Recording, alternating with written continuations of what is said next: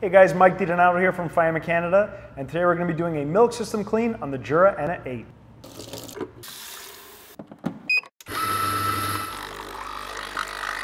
The things you'll need for this process, your milk cleaning system container, and your milk system cleaning tablets. After you make a milk drink, your machine will ask you to clean the milk system. Now you don't have to do this right away, but you should do it at the end of every night. In order to do that process, you're gonna hold the P button, program, on the bottom left corner of the screen until you get into the main menu. Once there, you'll select the maintenance status and then push clean the milk system. This will be labeled in red, it'll be very clear.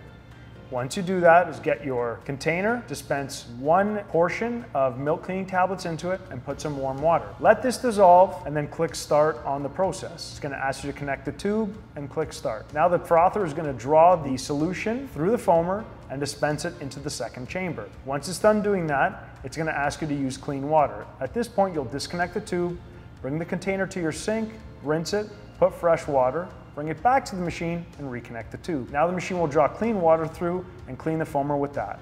That way you'll never have any leftover solution. Once that's done, you're finished. Thanks for watching how to clean the milk system on the Jura Ena8. Don't forget to follow us on Instagram at Faema underscore Canada for a lot of cool and fun content. And check out our website, www.faema.ca for all your maintenance product needs.